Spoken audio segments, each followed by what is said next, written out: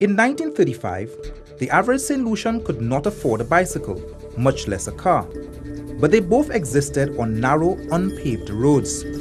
Naturally, Murphy's Law was bound to set in.